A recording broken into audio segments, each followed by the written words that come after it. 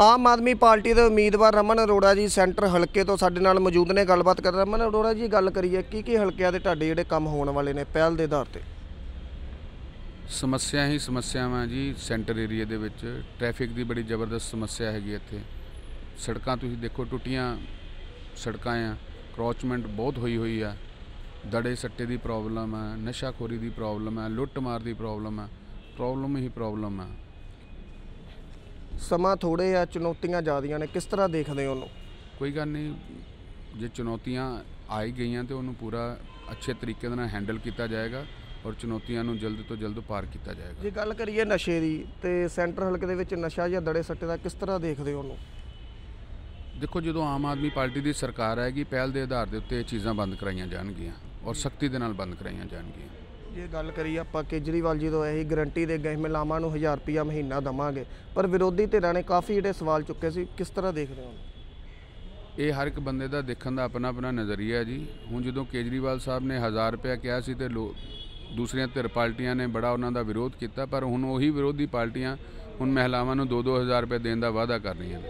ਇਹ ਵਾਅਦਾ ਮੰਤਰੀ ਨੇ ਸਾਰੇ ਇਹਨਾਂ ਦੇ ਵਾਅਦੇ ਕੋਈ ਪੂਰੇ ਨਹੀਂ ਹੋਣੇ। ਜੋ ਕੇਜਰੀਵਾਲ ਸਾਹਿਬ ਨੇ ਸਾਨੂੰ ਗਰੰਟੀਆਂ ਦਿੱਤੀਆਂ ਉਹ ਲਿਖਤ ਗਰੰਟੀਆਂ ਦਿੱਤੀਆਂ ਉਹ ਤੇ ਬਕਾਇਦਾ ਉਹਨਾਂ ਦੇ ਸਿਗਨੇਚਰ ਹੈ ਵਧੀਆ ਔਰ ਸੁਚਾਰੂ ਢੰਗ ਦੇ ਨਾਲ ਇਹ ਜਿੰਨੀਆਂ ਗਰੰਟੀਆਂ ਨੂੰ ਨਿਭਾਇਆ ਜਾਏਗਾ ਔਰ ਹਰ ਕੰਮ ਪਹਿਲ ਦੇ ਆਧਾਰ ਤੇ ਅੱਛੇ ਤਰੀਕੇ ਦੇ ਨਾਲ ਕੀਤਾ ਜਾਏਗਾ ਜੀ। ਜਦੋਂ ਤੁਸੀਂ ਲੋਕਾਂ ਦੇ ਵਿੱਚ ਵਿਚਰਦੇ ਹੋ ਲੋਕ ਕੀ ਸਵਾਲ ਕਰਦੇ ਨੇ? ਲੋਕ ਤਾਂ ਇਹ ਵੀ ਕਹਿੰਦੇ ਨੇ ਕਿ ਸਾਨੂੰ ਬਦਲਾਵ ਚਾਹੀਦਾ। ਬਿਲਕੁਲ ਜੀ ਹਰ ਸਾਡਾ ਜਲੰਧਰ ਕੀ ਪੂਰਾ ਪੰਜਾਬ ਹੀ ਬਦਲਾਵ ਚਾਹ ਰਿਹਾ ਜੀ।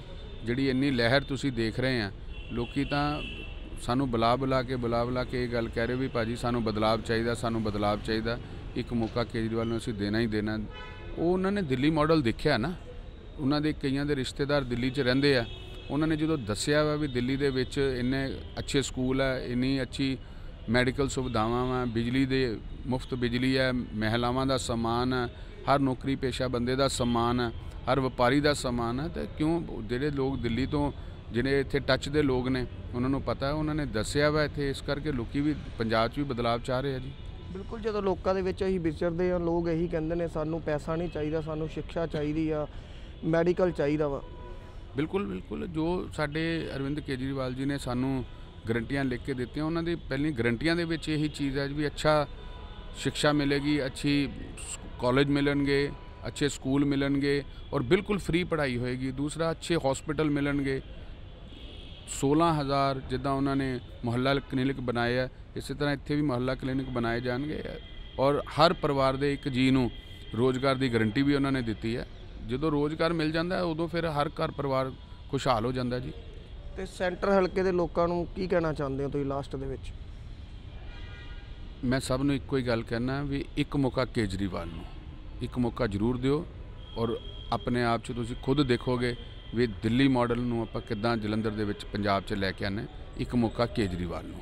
ਬਿਲਕੁਲ, ਜਿਸ ਤਰ੍ਹਾਂ ਸੈਂਟਰ ਹਲਕੇ ਦੇ ਉਮੀਦਵਾਰ ਰਮਨ ਅਰੋੜਾ ਜੀ ਨਾਲ ਗੱਲਬਾਤ ਕੀਤੀ, ਉਹਨਾਂ ਦਾ ਇਹੀ ਕਹਿਣਾ ਕਿ ਦਿੱਲੀ ਮਾਡਲ ਜਿਹੜਾ ਪੰਜਾਬ ਦੇ ਵਿੱਚ ਲਿਆਵਾਂਗੇ ਤੇ ਪਹਿਲ ਦੇ ਆਧਾਰ ਤੇ ਜਿਹੜੇ ਸੈਂਟਰ ਹਲਕੇ ਦੇ ਕੰਮ ਰਹਿੰਦੇ ਨੇ, ਪਹਿਲ ਦੇ ਆਧਾਰ ਤੇ ਜਿਹੜਾ ਕੀਤੇ ਜਾਣਗੇ। ਕੈਮਰਾਮੈਨ ਨੋਨੂ ਸ਼ਰਮਾ ਦੇ ਨਾਲ ਦਾ ਸਟੋਰੀ ਟੀਵੀ